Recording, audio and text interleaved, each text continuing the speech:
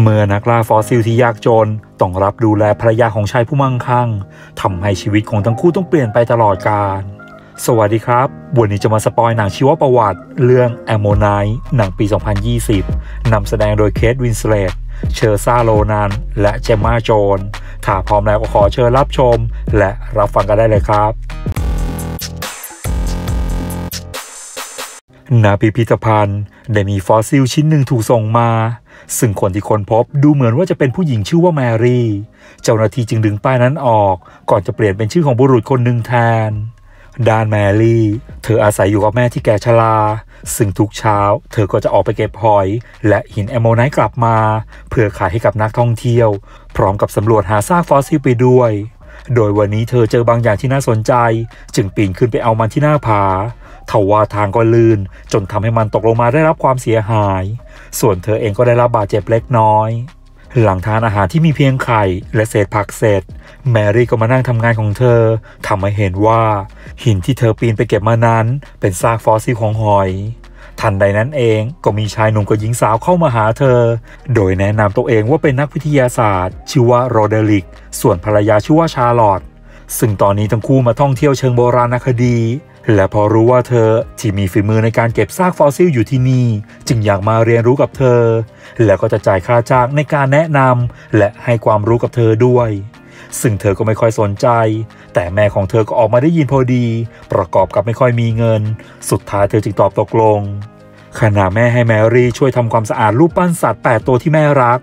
โรเดริกก็พาชาลอตมาทานอาหาร แต่ก็ไม่ได้ให้เธอเป็นคนตัดสินใจเลย ทั้งเรื่องสถานที่กินและอาหารที่เธอทานทำให้เธออึดอัด แต่ก็ไม่ได้บ่นออกไป เมื่อทั้งคู่มาเข้านอน ชาลอตก็เกิดอารมณ์ จึงไปเย้าโยนโรเดริก แต่เขากลับต่อว่าเธอทำให้เธอเสียใจมาก รุ่งเช้า โรเดริกได้มาเจอกับแมรี่ที่ชายหาด เพื่อมาเรียนรู้การทำงานของเธอ แล้วก็ลองเก็บหินที่คิดว่ามีค่ามาให้เธอดู ซึ่งก็แทบไม่มีชิ้นไหนที่ใช้ได้เลย นอกจากหินก้อนเล็กๆเท่านั้นทำให้เขาภูมิใจก่อนจะได้รู้ว่า มันคือก้อนขี้ที่กลายเป็นฟอสซิลแล้วนั่นเอง เมื่อโรเดริกกลับมาเห็นชาลอตเอาแต่นอน ไม่ยอมออกไปไหนหรือทำอะไร เขาก็ตัดสินใจจะเดินทางไปท่องเที่ยวเชิงโบราณคดีต่อคนเดียว โดยจะปล่อยเธอไว้ที่นี่ เพื่อให้ได้พักฟื้น เพราะหมอบอกเอาไว้อย่างนั้น ที่สำคัญ เขาก็หวังว่าจะได้ภรรยาคนเดิม ที่สดใส ตลก และฉลาดกลับคืนมาด้วยทำให้เธอยิ่งเครียดเข้าไปใหญ่ ที่ต้องอยู่ที่นี่คนเดียว เมื่อโรเดริกมารับฟอสซิลหอยที่ซื้อมาจากแมรี่ เขาก็บอกเรื่องชาร์ลอตจะต้องอยู่ที่นี่ต่อให้เธอรู้ พร้อมกับขอให้เธอช่วยพาชาร์ลอตออกไปทำงานด้วย โดยไม่ต้องดูแล แค่ให้คอยเดินติดตามเธอเฉยๆก็พอ ซึ่งไม่น่าจะเกิน 6 สัปดาห์ แล้วก็จะจ่ายค่าจ้างให้ทำให้เธอลำบากใจ แต่สุดท้ายก็ยอมด้านชาร์ลอตเธอถูกพนักงานโรงแรมมาปลุกแต่เช้า ตามคำสั่งของโรเดริกทำให้เธอโมโห แต่ก็ต้องยอมแต่งตัวออกมาหาแมรี่ ซึ่งแมรี่ก็ได้เตรียมรองเท้าเอาไว้ให้เธอแล้ว แล้วก็พาเธอเดินติดตามไปทำงานด้วย โดยไม่ได้คุยอะไรกันเลยขณะแมรี่กำลังทำงาน เธอก็เงยหน้าขึ้นไปเห็นหินก้อนหนึ่งที่น่าจะใช้ได้อยู่บนหน้าผาทำให้ชาลอดอยากรู้ว่ามันคืออะไร จึงจะให้แมรี่ไปเอา แต่แมรี่ก็ปฏิเสธ เพราะไม่ได้รับเงินมาเพื่อทำตามคำสั่ง แล้วก็ไม่ใช่เพื่อนของเธอด้วย ดังนั้นถ้าเธออยากไปเล่นน้ำทะเล หรือบำบัดตามที่หมอสั่งก็เชิญไปได้เลยทำให้เธอโมโหจึงจะอ้างสามีว่าบอกอะไรไว้บ้าง แต่แมรี่ก็พูดดักขึ้นมาก่อนว่าสามีทิ้งเธอทำให้เธอเสียใจแล้วก็โกรธมาก จึงเดินหนีไป แล้วสักพักเธอก็กลับมาพร้อมกับคนงาน เพื่อลากเธอและรถบ้านลงไปบำบัดในน้ำทะเล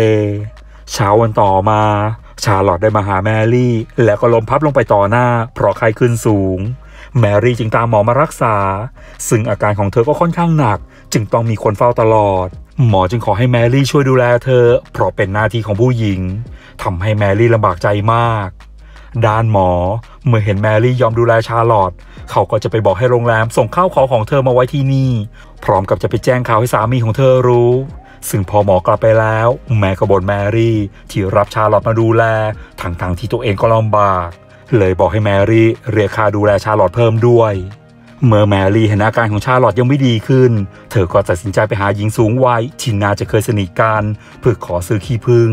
ทำให้เธอเกรงๆ และยิงถูกทักว่าชอบตอนที่เธอผมยาวมากกว่า ก็ทำให้เธอรู้สึกหวั่นไหวมาก พอแมรี่เอาขี้ผึ้งมาทาให้ชาลอตเธอก็เริ่มดีขึ้น แต่ยังไม่ฟื้นจากไข้ และพอแมรี่เห็นว่าเธอสวยจึงวาดรูปเก็บไว้ ซึ่งก็เป็นเวลาเดียวกับที่เธอฟื้นขึ้นมาพอดี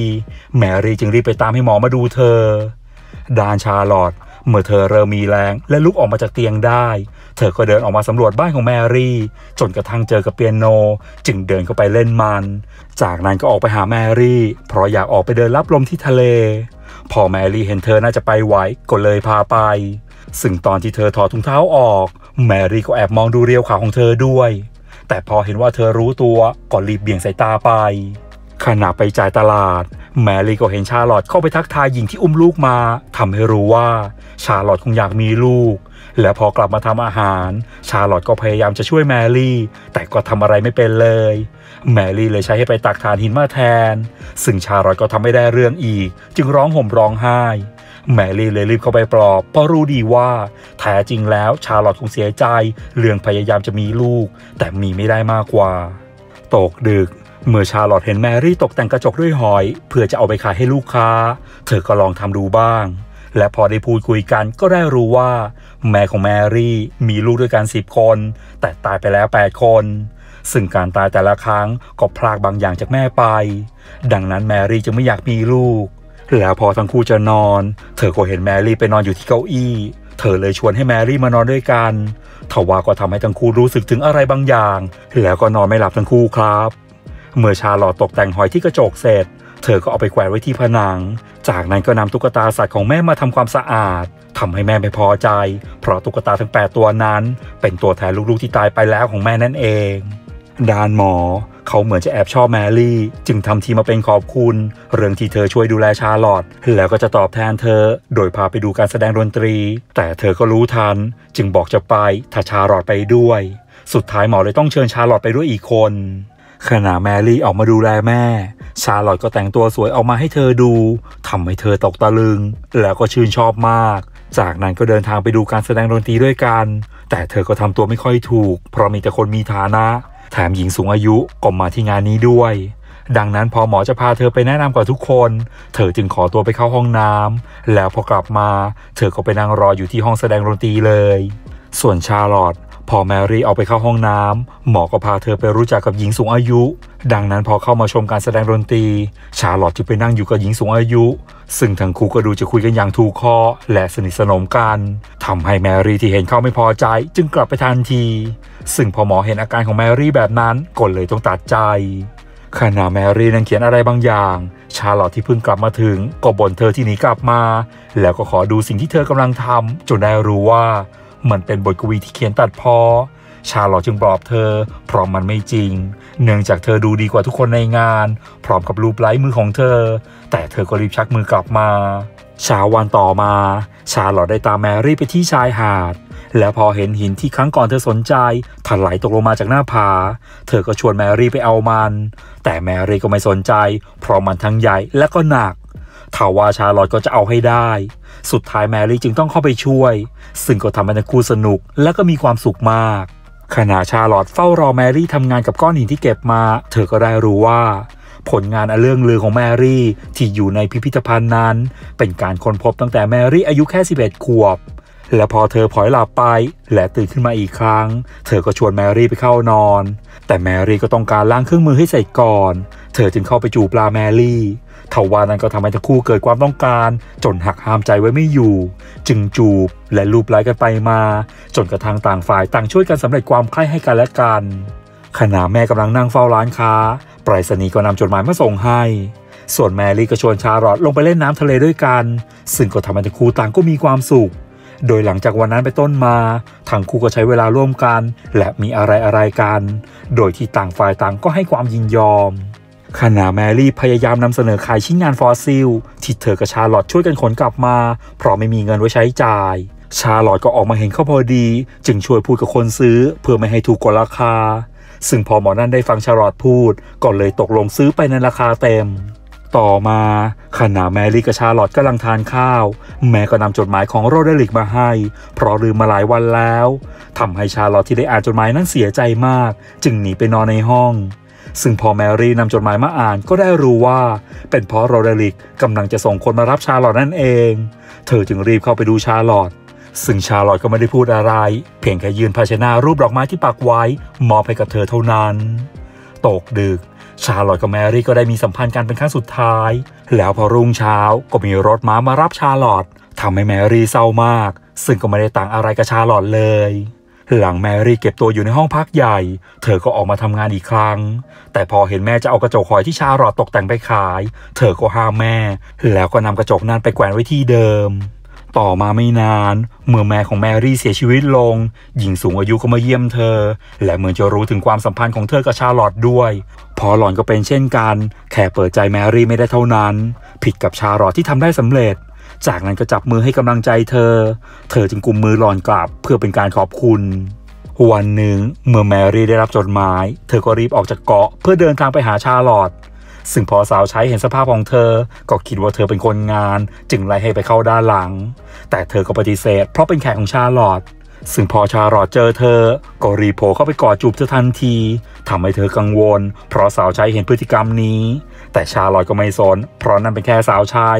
จากนั้นก็พาเธอไปดูห้องนอน ที่เตรียมพร้อมทุกอย่างไว้แล้ว ทั้งเสื้อผ้าและโต๊ะทำงาน แถมยังสามารถไปมาหาสู่กับห้องของชาลอตได้อีกด้วย ทำให้เธอโกรธที่ชาลอตเอาแต่ได้ ทั้งที่มีสามีอยู่แล้ว และยังจะเอาเธอมาเป็นนกน้อยในกรงทองอีก พร้อมก็ต่อว่าชาลอตที่ไม่เคยเข้าใจเธอ และเธอไม่ได้ตั้งใจมาอยู่ แค่มาเยี่ยมตามจดหมายเชิญเท่านั้น ที่สำคัญ เธอก็มีงานที่ต้องทำและมีชีวิตเป็นของตัวเอง จากนั้นก็เดินจากไป เพื่อหาห้องเช่าไว้ค้างแรม เช้าวันต่อมา แมรี่ได้ไปพิพิธภัณฑ์ เพื่อดูผลงานของเธอ ซึ่งมีแต่บุรุษเท่านั้นที่เข้ามายังสถานที่แห่งนี้ แต่เธอก็ยังคงเดินหาผลงานของเธอ จนได้พบกับมันทว่าชื่อที่ปรากฏนั้นกลับไม่ใช่ชื่อเธอ แต่เป็นชื่อของบุรุษคนหนึ่งซึ่งพอเธอเงยหน้าขึ้นมา เธอก็เห็นชาลอตมายืนอยู่ฝั่งตรงข้ามเธอแล้ว ทั้งคู่จึงสบตากันและกัน โดยไม่ได้สนใจบุรุษที่ลายล้อม ชมผลงานอยู่ในพิพิธภัณฑ์แห่งนั้นเลย